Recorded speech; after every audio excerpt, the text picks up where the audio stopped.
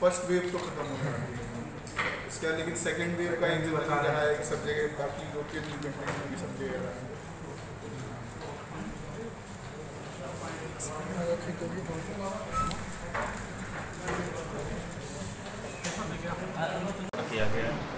थाना कसना के अंतर्गत 28 तारीख की रात को एक व्यक्ति जिसका नाम शनिराम निषाद है, उसकी गोली मारकर हत्या की गई थी। इस घटना के संबंध में सर्विलांस टीम एसओजी और आ, कसना थाने की पुलिस के द्वारा पिछले तीन दिन से लगातार मेहनत करके इसके कज़न जो इनका चचेरा भाई है जिसका नाम दिनेश निषाद है उन्हीं के गाँव का रहने वाला है सिमराहा गाँव का उसको गिरफ़्तार किया गया है। उसने इस पूरी घटना को कबूल भी किया है। साथ में बाकी सभी जो एविडेंस हैं फॉरेंसिक एविडेंस हैं उससे भी मिलान हो रहा है। इस घटना में प्रयोग किए गए तमंचे को भी बरामद किया गया है।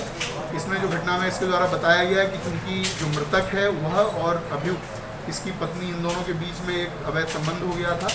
जिसकी जानकारी जब इस अभियुक्त को हुई तो उसने इस तरह की घटना को पारित किया। इसको माननीय न्यायालय प्रेषित किया सर मेजा में दो पक्षों के बीच लड़ाई मामला क्या पूरा मामला मेजा में एक मामला सामने अभी आज सुबह का आया है जिसमें दो पक्षों में आपस में लाठी डंडे चलने की वजह से संघर्ष हुआ है जिसमें चार लोग घायल हैं।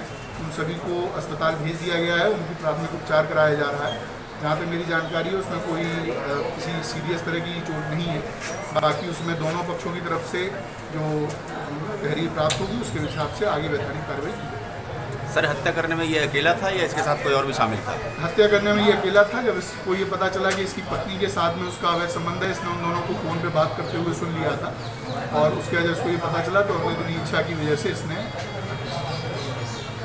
ठीक है थैंक यू